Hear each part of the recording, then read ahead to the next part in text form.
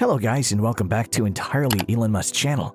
Neuralink, the brain implant organization by Elon Musk, is the billionaire entrepreneur's foray into the experimental medical industry known as Brain-Computer Interface or BCI.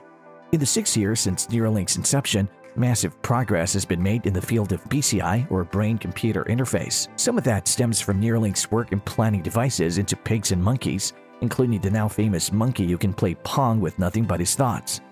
Because of the digital telepathy enabled by BCI technology, the next generation brain computer interfaces is now undergoing human trials in the United States for the first time. However, the first BCI procedure to be approved by the FDA will be a device called Stentrode from a competing private company called Synchron, not a Neuralink.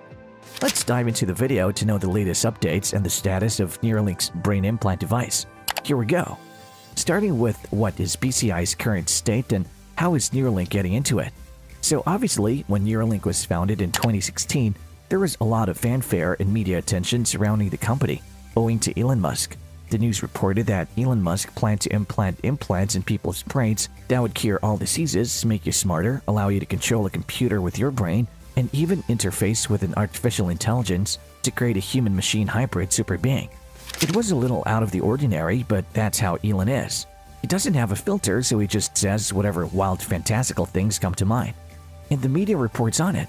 So while Elon Musk did not invent the brain-computer interface, it has been around for a long time. The only issue is that there have been virtually no progress in improving the methodology and implementation of BCI between 2016 and the mid-1990s. So Neuralink is a modern approach to an existing technology that does exactly what Tesla did for the automotive industry. They did not invent the electric car, but they packaged that technology into a product that performed admirably and solved the problem inherent in the previous design. The brain-computer interface concept is quite simple. The brain can control the rest of your body by sending specific electrical signals through your nerves and into your organs or muscles. Those electric pulses are analogous to programming language in the body. Your brain sends commands through your spinal cord, but this connection between the brain and body can be broken by a physical injury or a degenerative disease. As a result, BCI can act as a bridge for those electrical signals to bypass the broken connection. Existing BCI technology can be classified into two types, invasive and non-invasive. You've most likely seen non-invasive BCIs. It looks like a screen chat with an electrode sensor all over it. This can read electrical signals from the brain but is not very good at it. Between the sensors and the neurons is an entire skull. This is where things got gruesome, and another startup beats Neuralink. The Federal Drug Administration has not yet approved Elon Musk's Neuralink brain computing startup to implant its technology in humans. However, Neuralink's competitor Synchron has implanted its first device into a patient's brain in the United States, in this case, one suffering from ALS.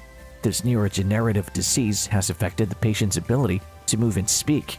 The goal is for the patient to be able to browse the web and communicate via email and text simply by thinking. The device would use commands sent to a computer to translate the patient's thoughts into action. Synchron's device had already been implanted in four patients in Australia. According to Bloomberg, these patients experienced no side effects, and the device enabled them to send messages via WhatsApp and make online purchases. Synchron received FDA approval in July 2021 to begin a human trial of its Stentrode device in six patients' brains. The Stentrode can be inserted into the brain without causing any damage to the patient's skull or tissue. First, a doctor makes an incision in the patient's neck. Then a catheter is used to insert the stentrode into a blood vessel within the motor cortex, which is involved in the planning, controlling, and executing voluntary movements. A second procedure connects the device to a computing device implanted in the patient's chest after it has been implanted. The stentrode reads the signal produced by neurons firing in the brain and then sends it to the computing device, which sends it via Bluetooth to a computer or phone. Meanwhile, Neuralink is developing a surgical robot to implant its small, disc-shaped device into a patient's brain. The device would then process and filter signals on the embedded computer chips. And while the device's human trial in the United States is a first for Synchron, it is not a first in the field, since its development in 1992 by researchers at the University of Utah, the Utah Array, a microelectrode array technology that is small, silicon square with 100 needles that are pushed into the brain when implanted has been the standard for relaying electrical signals from the brain to a computer. It was the only FDA-approved BCI or brain-computer interface until last year, and it has shown significant results such as allowing paraplegics to control robot arms.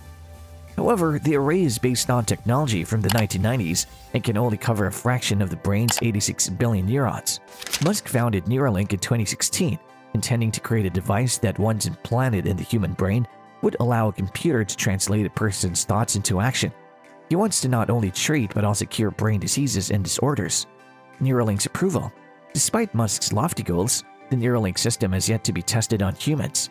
Musk tweeted in February 2021 Neuralink is working extremely hard to ensure implant safety and is in close communication within the FDA.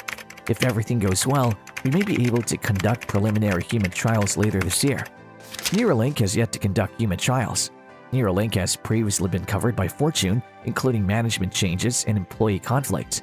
For example, Max Hodak, its former president and biomedical engineer, resigned abruptly and is now an investor in Synchron.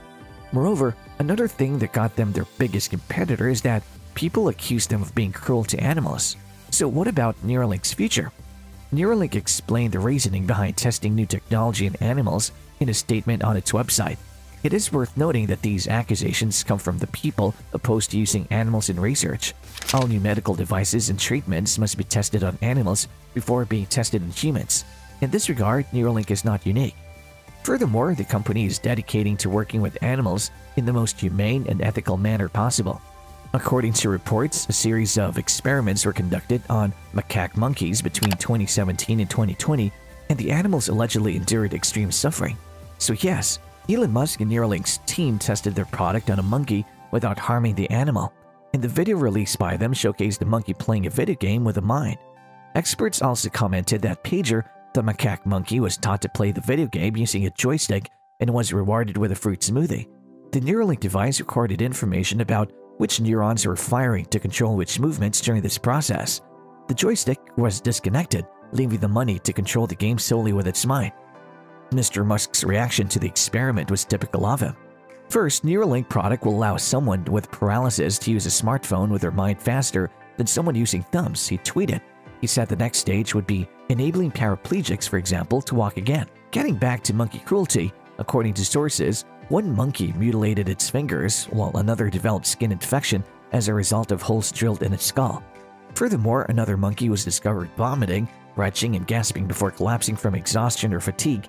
Finally, according to CNN, the Physician Committee for Responsible Medicine, which filed a complaint about the alleged cruelty, claimed that UC Davis received $1.5 million in funding from Neuralink.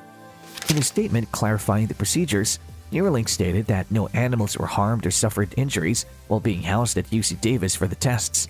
In terms of euthanasia, the company stated that the only monkeys healthy enough for one anesthetic event, but may not have the proper quality of life due to a pre-existing condition, were humanely put to rest. What does the CEO of Synchron have to say? Oxley is the CEO and founder of Synchron, a company developing a brain-computer interface or BCI. These devices work by intercepting brain signals and converting them into commands that enact a movement, such as moving a robotic arm or a cursor on a screen. The implant essentially serves as a bridge between the mind and the computer. Oxley's company is attempting to do the good stuff. On July 6, the first patient in the United States received Synchron's device at a hospital in New York.